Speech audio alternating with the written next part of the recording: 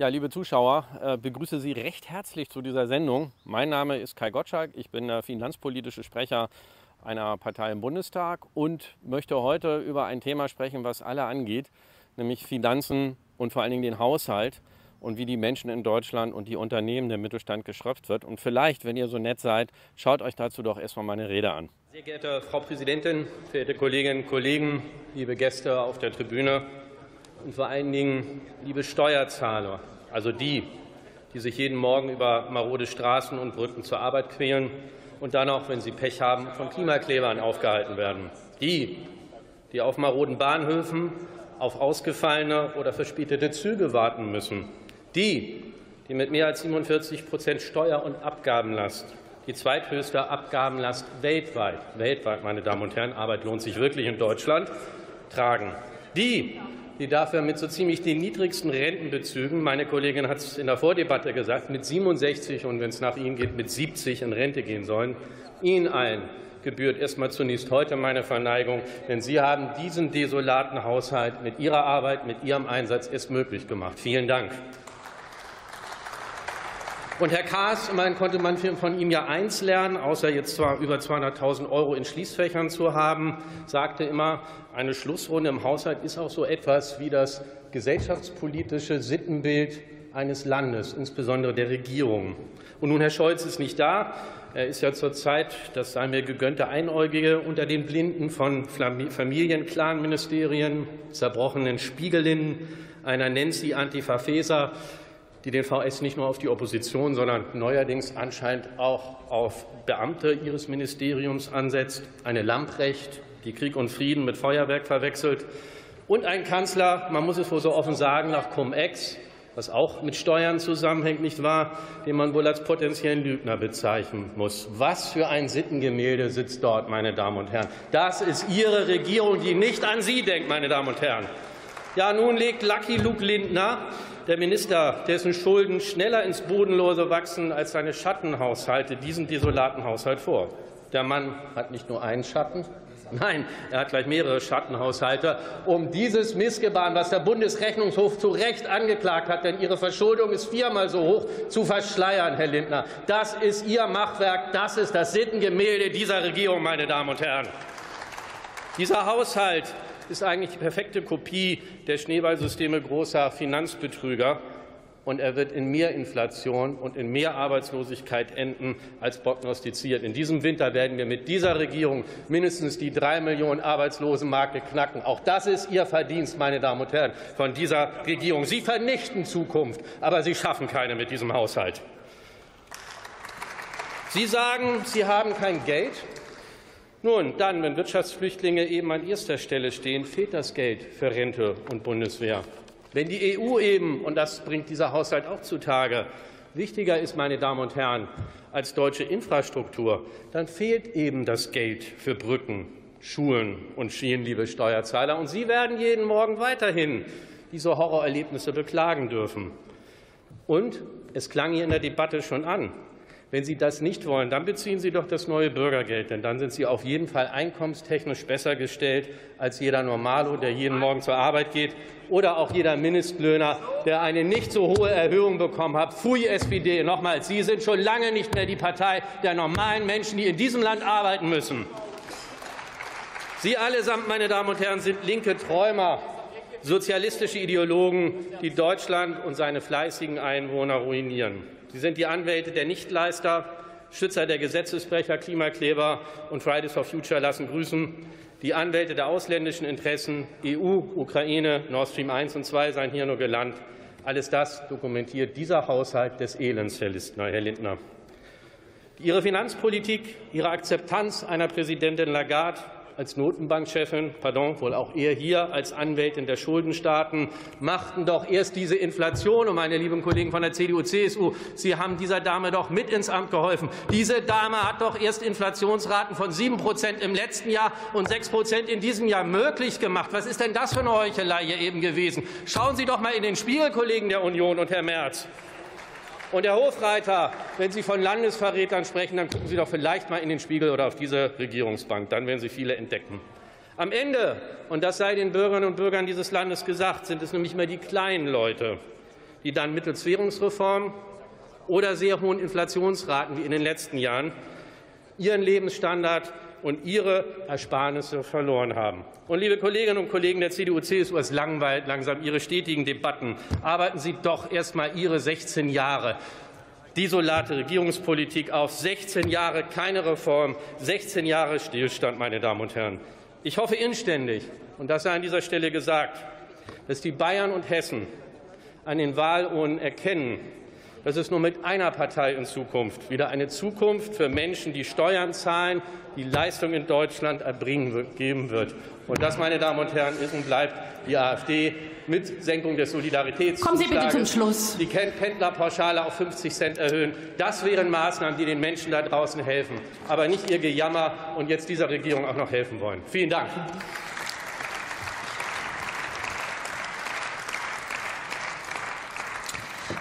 Lieber Herr Gottschalk, ich äh, halte mir Ordnungsmaßnahmen vor. Ich werde mir noch mal das Protokoll äh, geben lassen bezüglich der Äußerung zu äh, Landesverrätern.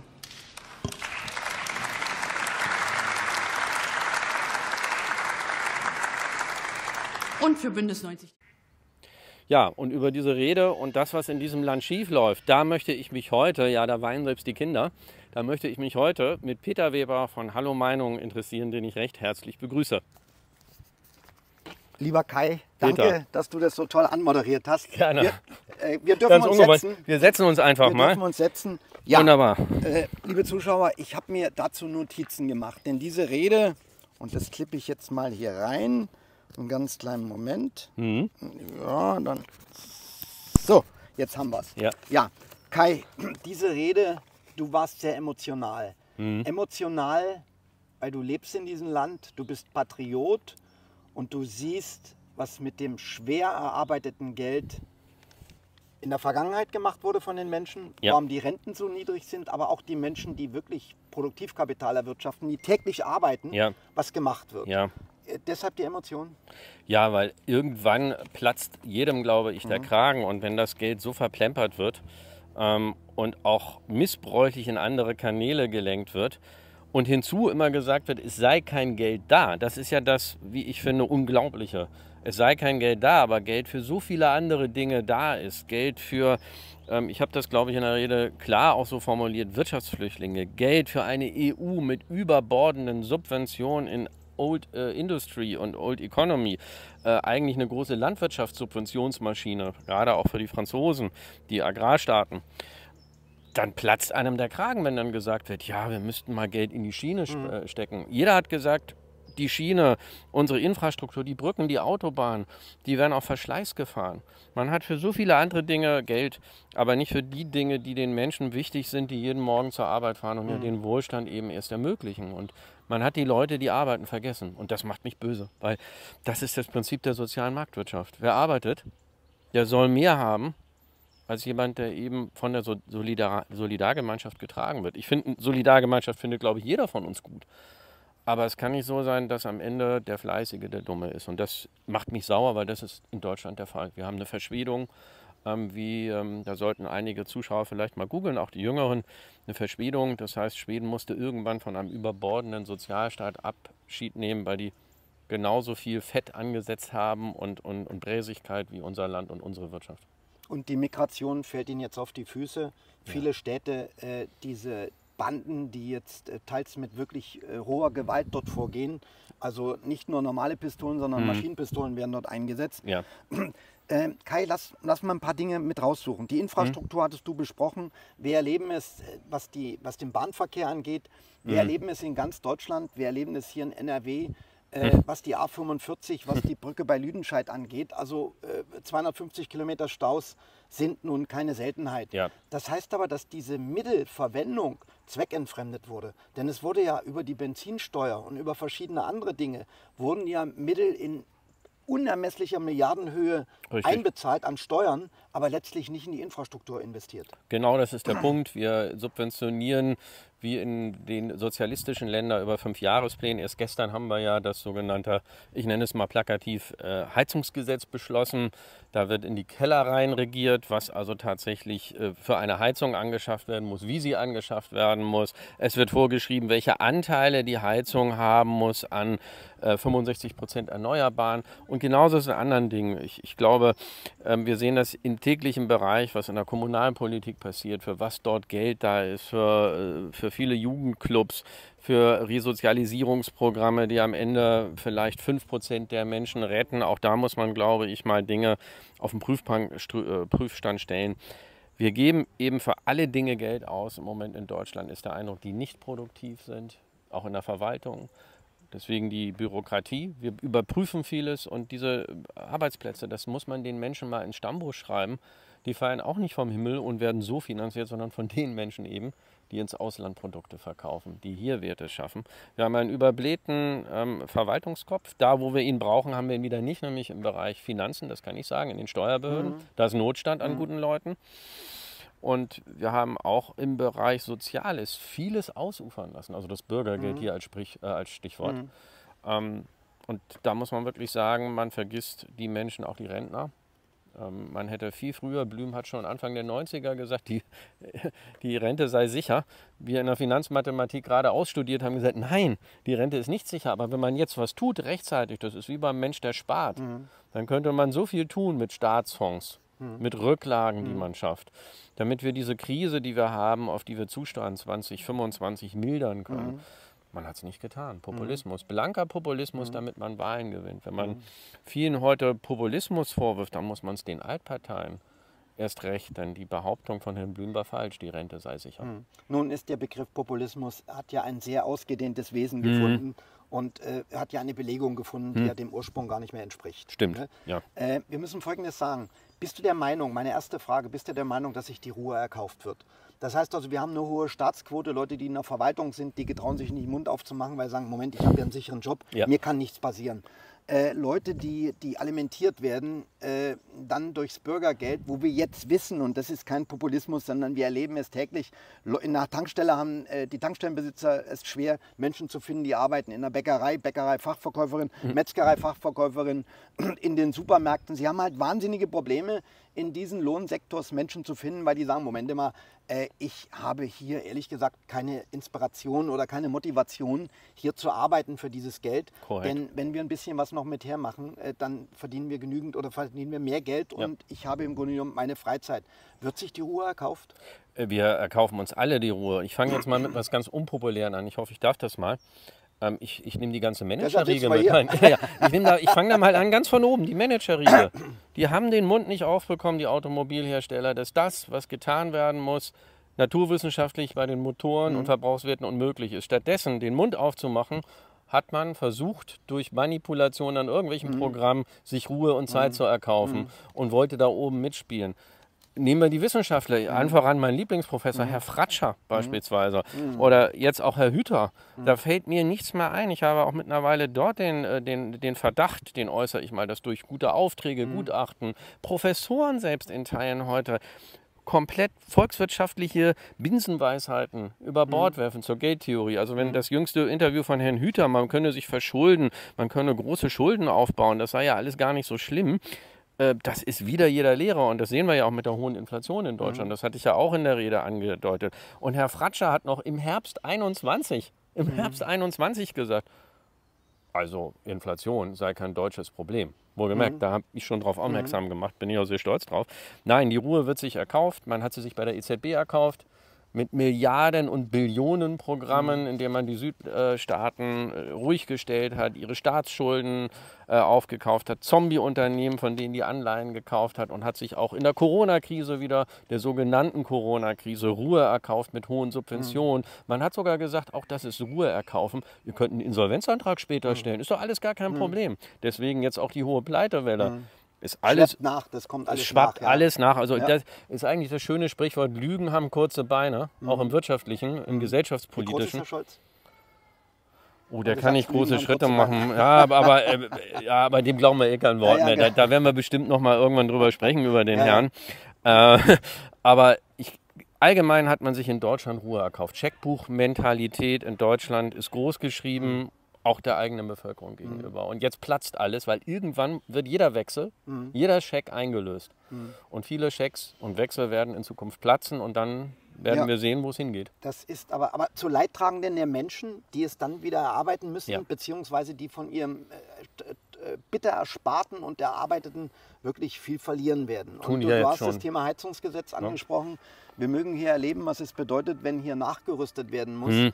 Äh, da kommen Größenordnungen zustande. Da ist gestern bereits drüber gesprochen worden, für ein Einfamilienhaus zwischen 80 und 100.000 Euro. Das ist ein Wahnsinn. Und jeder muss sich darüber im Klaren sein, wenn du jetzt in der Stadt ein Mietshaus hast und der Bürgersteig gehört der Stadt, du musst ja die, mit einer Wärmepumpe musst ja in die Tiefe gehen. Ja. Das heißt also, du musst hier das Tiefbauamt, du musst das Bauamt mit einschalten und bevor die dir grünes Licht geben, mitunter laufen dort Leitungen durch, Ja. die man vor Jahren gelegt hat, man weiß das überhaupt nicht mehr. mehr. Also dort sind Dinge auf den Weg gebracht worden, ohne zu überlegen. Und Kai, diesen Herrn Fratscher, den du angesprochen Ja. hast, das war ja derjenige, der bei Fissmann gesagt hat, das zeigt, wie interessant deutsche Unternehmen sind und wir können stolz sein, als die Amerikaner Fissmann gekauft haben, Ja. den Wärmepumpenhersteller, Ja. sagte er, wir können stolz sein, dass, dass amerikanische Unternehmen so in den deutschen Markt investieren. Wobei wir sagen, eine Arbeitsplatzgarantie auf lange Zeit ist das nicht. Ne? Also ich muss ganz ehrlich sagen, Herr Fratscher hat bei mir sämtliche Mhm. Achtung verloren. Ähm, Das ist für mich auch jemand, der sein Fähnchen in den Mhm. Wind hängt. Ähm, da können wir überhaupt nicht drauf stolz sein. Wir könnten drauf stolz sein, wenn deutsche Industrie so stark ist, Mhm. weil sie am Weltmarkt und auch im Binnenmarkt so gut äh, Fuß gefasst hat, dass sie andere Unternehmen Ja, aufkaufen kann. Ja. Aber ich finde es bedenklich, wir haben es bei, bei vielen anderen Dingen gesehen, das ist keine Arbeitsplatzgarantie. Wir kennen das äh, bei, der, äh, bei Höchst äh, Mhm. und bei vielen anderen äh, tollen, großen deutschen Unternehmen, die aufgekauft worden Mhm. sind. Am Ende ist noch ein bisschen Verwaltung, Patentverwaltung und so weiter hier, aber die großen Industriezweige, Mhm. die Arbeitsplätze, die wandern woanders hin. Und wir brauchen Arbeitsplätze. Mhm. Wir brauchen in Deutschland Arbeitsplätze, damit Steuern bezahlt werden, damit wir die Renten bezahlen können, Mhm. damit wir in die Infrastruktur investieren können. Und ähm, das ist bedenklich. Aber wir haben viele, viele andere Dinge. BASF wandert gerade ab, ähm, äh, mit, baut ein riesengroßes Industriewerk in China in einer Rekordzeit. Wen wundert's? Da brauchen wir hier in Deutschland doppelt so lang. Nein, also ähm, Herrn Fratscher schreibe ich, muss ich auch wirklich sagen, der ist auf der Liste meiner sogenannten anerkannten Sachverständigen äh, gestorben. Und ich mal ein kleines Stichwort, da hängt wahrscheinlich einer, sage ich immer gerne, Mariana Mazzucato an. Googelt das mal. Das ist die neue Schutzheilige der EU, äh, die Schulden propagiert. Äh, Mission Moon sei da mal als Buch empfohlen. Und scheint dort eben auch sein Jäckchen hingehängt zu haben, der gute Herr Fratscher. Aber ist nicht mehr ernst zu nehmen. Solche Wissenschaftler muss man dann auch vom, von, von der Watchlist streichen. Ähm, aber ich hab herzlich, kann immer herzlich lachen, wenn er was sagt. Das äh, macht mir den Tag süß. Und äh, dass diese Aussagen äh, auch en entsprechend äh, publiziert sind. Wir sehen hier, wir blenden es für die Zuschauer ein, der geschröpfte deutsche Mittelstand. Ja. Äh, dieses Verbot, dieser Verbotsplan der EU treibt deutsche Unternehmen ins Ausland und zwar viele sogenannte äh, PFAS-Chemikalien Ja. gelten als unverzichtbar in der Industrie. Die Ja. EU will es verbieten, dann geht es ins Ausland. Genau, nach China. Äh, wenn wir uns anschauen, äh, wir haben hier den Aspekt, die Berliner Zeitung schreibt, extrem kritisch, Top-Unternehmen wollen Deutschland verlassen. Und das Leider. sind alles jüngste Schlagzeilen. Ja. Äh, wir haben auch eines, und ich glaube, dass das, äh, dass das signifikant für Deutschland ist, es gibt acht Lehrstühle für Kernforschung, aber 173 Lehrstühle für Genderforschung. Kai, wenn wir jetzt uns anschauen, wir kommen gleich wieder auf den Haushalt. Die, äh, die Länder, die sich von der Kernenergie verabschiedet hatten, Finnland und Schweden, Ja. investieren jetzt in Kernenergie, Vattenfall, in exorbitanten Summen. Ja. Äh, nämlich in die sogenannten Thoriumreaktoren, in kleine Reaktoren. Ja, das heißt also neuesten. die neuesten Reaktoren mit den Amerikanern zusammen. Und die Amerikaner sagen, wir werden das weltweit machen. Das Ja. heißt also kleine Reaktoren, bedarfsgerecht Genau, gebaut. dezentral. Das Thema Kernspaltung spielt, in, also unkontrollierte Kernspaltung spielt dann keine Rolle mehr. mehr. Und die Entsorgung auch in dieser Form nicht mehr, wie es ist. Deutschland hat sich aus allen verabschiedet. Erkennst du daran, ich meine, die, du kommst mit diesen Leuten zusammen, du kommst in die Ministerien und du siehst diese Hm. Leute. Kai, ich frage mich, die müssen doch wissen, was sie anrichten. Nein. Also das habe ich ursprünglich auch gedacht. Mhm. Nach sechs Jahren Bundestag, ich dachte auch, die spielen Mhm. eine gute Operette. Das sind gute Schauspieler. Einige glauben das Und andere sind, ich sag's einfach mal so, ich werde ja keine Namen nennen, aber mir laufen da Leute über den Weg, die würden bei uns in der Firma äh, nicht mal die Toilettenfrau geben mhm. können, wenn es die noch gibt, weil sie sich ständig verrechnen würden. Äh, geschweige denn ihre Arbeit nicht machen können. Nein, wir haben wirklich Leute im Bundestag, mhm. die haben keinerlei Berufserfahrung, mhm. die haben keinerlei ähm, Standing, die verstehen das in Teilen auch nicht. Ich kann mhm. mich an eine Debatte erinnern, da sagte mein Referent in einer Debatte hinter mir, Kai, der versteht dich gar nicht gerade, mhm. was du sagst zur Geldtheorie mhm. oder zur Versicherungsmathematik. Mhm. Also da war es eine Dame von der SPD. Die glauben das, aber viel schlimmer ist, Glauben ist ja nicht so tragisch, aber wenn man ideologisch so festgefahren ist und nichts anderes mehr zulässt, mhm. dann laufen wir eine ganz gefährliche ähm, ähm, ähm, äh, Tendenz hinein. Und in Deutschland haben wir die Tendenz schon sehr lange. Wir haben uns aus der Biotechnologie, da waren wir auch mal ja. führend, verabschiedet. Heute werden die großen Dinge in dem Bereich Gentechnologie, Biotechnologie im Ausland gemacht. Deutschland war auch mal eins der führenden Länder, wenn nicht das führende im Bereich der Kernforschung. Wir hatten die Gesellschaft für Kernforschung ja. Geest-Hacht. Ähm, wir hatten Hanau, Nukem, Alkem. Ja. Ähm, also in Deutschland war man sehr, sehr weit. Und wenn man sich gesellschaftspolitisch meint, erstmal zu entscheiden, dass man aus der Kernenergie rausgehen wollte, finde ich, heißt das nicht automatisch, dass man sich aus der Grundlagenforschung mhm. verabschiedet. Also Deutschland wird für mich wirklich so ein grüner Ökosozialstaat. Ich befürchte, irgendwann laufen wir hier in Patchwork-Klamotten rum, mhm. wenn wir nicht jetzt wirklich schleunigst die Kurve bekommen. Wir sind wissenschaftsfeindlich. Mhm. Die Wissenschaftler, die wir haben, lassen sich aus meiner Sicht tatsächlich kaufen, hängen ihr Fähnchen in den Wind, vertreten keine klare wissenschaftliche Meinung mehr.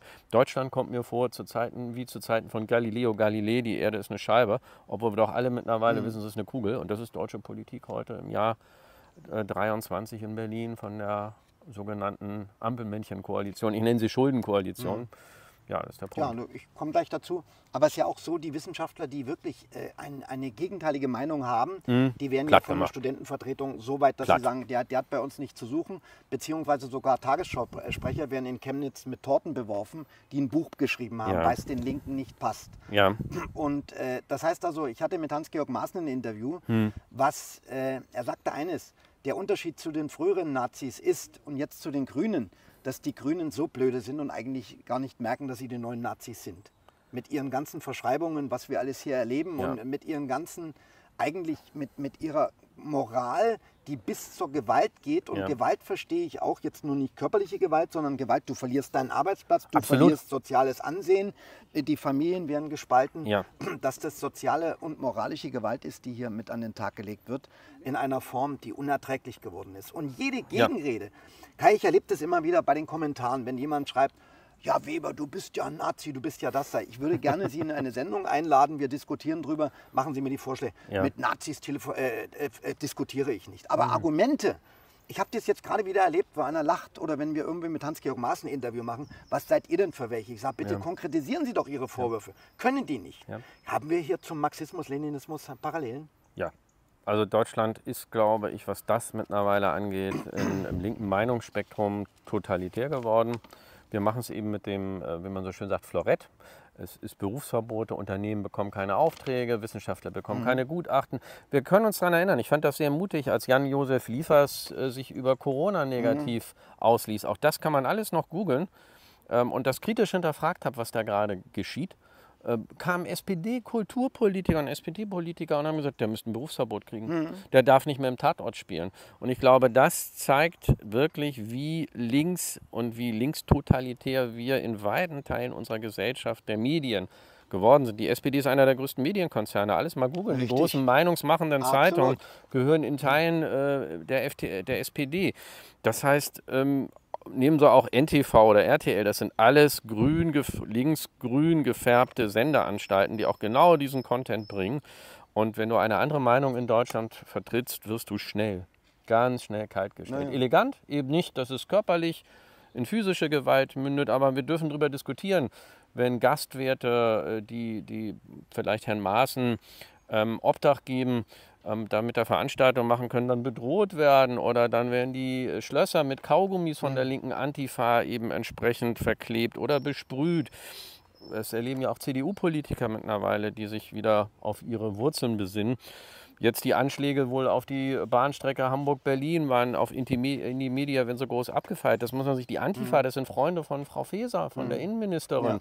die äh, sogar den VS auf äh, missliebige wohl Beamte angesetzt haben soll. Richtig, ja. Schönbohm sei da genannt mal. Also wir leben in einem Der Land, Chef der das- Cyberabwehr. ja, man, Naja. man, man, man fasst das eigentlich gar nicht mehr. Wenn uns, glaube ich, jemand das vor 25 Jahren erzählt hätte, was in diesem Deutschland heute möglich ist, was geschieht, da hätten wir alle gesagt, also bitte, das, das ist jetzt ein Nee. böser Albtraum und, und wir kennen alle Orwell Ja. 84, Ja. aber nein, doch nicht in Deutschland. Wir haben Ja. gelernt aus tausend Jahren deutscher Geschichte.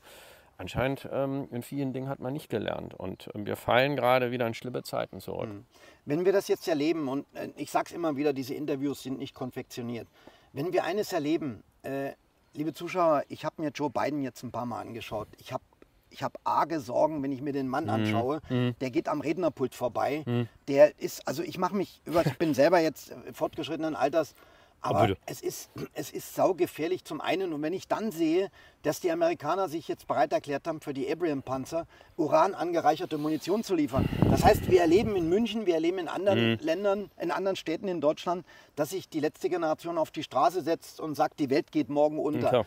Aber gleichzeitig hast du diese Leute, die sagen, wir müssen auf jeden Fall weiter Waffen liefern und Ja. schwere Waffen liefern. Herr Hofreiter auch. Herr Ja. Hofreiter ist ganz vorne ja immer dabei. Und Ja. Frau äh, Agnes Strack-Schimmermann also aus das sind doch Düsseldorf. Dinge, ja, da, da, da musst du doch einfach mit dem Kopf schütteln und sagen, wir, wir, wir laufen hier wirklich sehenden Auges Mhm. Gefahr, in eine nicht mehr zu kontrollierende Eskalation hineinzulaufen. Ja.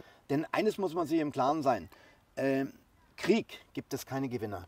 Nein, und es sind dieselben, die das fördern, die Angst hatten vom NATO-Doppelbeschluss, als Amerika Anfang der 80er Jahre äh, äh, Pershing-2-Raketen äh, hier äh, und einen Cruise Missiles äh, tatsächlich stationiert Ja. hat und stationieren wollte. Und das Argument der Linken, der Grünen, der Friedensbewegung, die in Bonn eine Riesendemo damals, die größte, glaube ich, die bis dahin in der Bundesrepublik stattfand, abgehalten haben, war, Deutschland soll nicht Kriegsschauplatz werden, Deutschland soll nicht das Schlachtfeld der Amerikaner oder der NATO werden, weil die beiden deutschen Staaten wären das Aufmarschgebiet gewesen. Jetzt ist die Grenze ein wenig verschoben, aber was sind bei Einsatz nuklearer äh, Sprengköpfe bei einem Krieg ähm, 250, 300 oder 500 Kilometer? Ich, ich frage mich wirklich, was, also das zeigt mir eben auch, wie gefährlich mittlerweile die sogenannten Linken oder die Grünen oder die SPD sind. Wer so seine Grundsätze über Bord schmeißt, der Friedenspolitik der 80er und 90er Jahre, nach wie vor nicht deeskaliert, sondern eskaliert, der macht mir Angst. Im Inneren eskalieren die, im Äußeren eskalieren sie und wenn ich dann eben sehe, was für Nieten in Nadelstreifen auch mittlerweile in der Politik rumrennen. Schönes Buch, ja. Ja, habe ich auch damals gelesen. Er hatte recht. Er hatte ja recht. Denn Ja, letztlich alle, muss man sagen, BMW hat jetzt bei der, immerhin bei der internationalen Autoausstellung, hat mal der erste Vorstandschef eines deutschen Unternehmens wieder den Mund aufgekriegt. Er hat gesagt, das Verbrenner aus, das, das, das sieht er nicht. Und wie sollen wir so viele Ladestationen in Europa schaffen? Nächste Frage, wie sollen wir eigentlich so viele Ladestationen für E-Autos in Indien oder in Afrika oder in Brasilien, äh, in anderen Ländern schaffen? Die Fragen werden ja alle nicht beantwortet. Aber nochmals, Nieten in Nadelstreifen heißt eben auch, dass für mich viele Menschen das Rückgrat verloren haben, wenn Dinge falsch laufen, im politisch-gesellschaftlichen den Mund aufzumachen und auch der Linken entgegenzutreten. Denn wir wollen keine Kommunisten werden. Ich will keine DDR 2.0. Ich möchte meine Bundesrepublik, wie sie in den 90ern und 2000ern noch war, ein starkes wirtschaftliches Land, in dem alle gut leben konnten, in dem es allen Menschen, die fleißig waren, gut ging. Und die Linken wollen hier, und, und wir sind ja in dieser Tendenz, ein Umverteilungsstaat haben wir mittlerweile. Es werden Gelder den Menschen abgenommen, umverteilt und zwar nach dem Gusto der Linken. Du hast es ja eben gesagt, gendern. Wir müssten 190 Lehrstühle für Kernenergie, für Autoforschung, für Physik, für Biologie, Chemie, für Computerwissenschaften, für, für, für, für Software, alles das haben, aber doch nicht 190. Handwerk und Handwerk. Und Handwerker, Und Handwerk das fördern das mehr. Handwerk fördern, genau, und zwar Ja. genauso wie im Studium. Wir sind ja noch nicht mal so weit, dass ein Handwerksmeister so gefördert wird, haben wir als Diskussion gehabt, wie jemand, der studiert. Das Mhm. muss voll anerkannt werden. Die müssen eine Förderung kriegen. Da muss es ein richtiges, langes Meister-BAföG geben. Wir müssen Mhm. über die KfW-Mittel und die Verzinsung reden.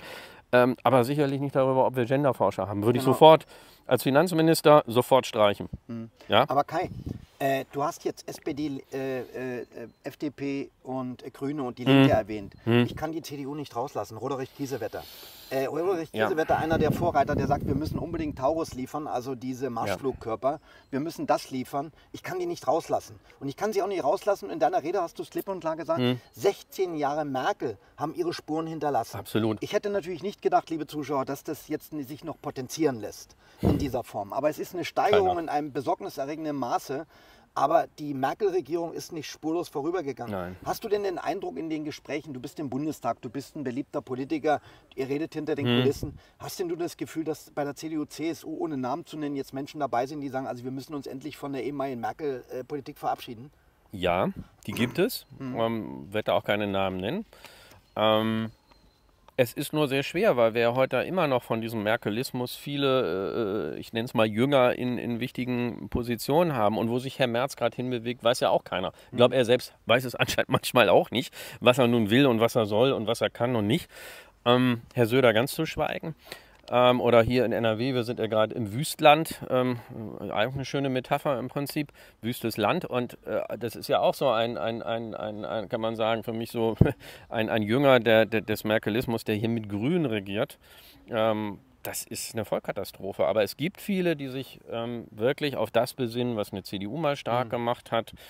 Auf eine CDU, die Mittelstand, Unternehmen ähm, entsprechend gefördert hat. Und ich glaube, dass die CDU irgendwann im nächsten Jahr vor eine existenzielle Frage in Sachsen wahrscheinlich gestellt wird, vielleicht auch in Thüringen. Und die Frage, die sollte sich die Bevölkerung genau angucken, wie die beantwortet wird. Sonst könnte es der CDU so gehen wie vielleicht der früheren äh, Partnerpartei in Italien äh, von der CDU. Und ähm, das wäre schade, denn wir brauchen gute, vernünftige politische Parteien in Deutschland und wir können eigentlich mittlerweile selbst die FDP schon als verloren ansehen. Vor allen Dingen ist wichtig, du hast das Wort Deutschland erwähnt, für Deutschland. Für Deutschland. Nicht opportun für sich selbst, dass ich Für in meinem. Amt bleibe, weil ich nichts gelernt habe, Genau. sondern für Deutschland. Und Ja. da muss ich eines sagen, wir müssen uns darüber im Klaren sein, liebe CDUler und CSUler, ihr werdet nicht um die AfD herumkommen. Und die AfD wird in der Zusammenarbeit nicht um die CDU, CSU herumkommen. Korrekt. Als bürgerliche Mitte.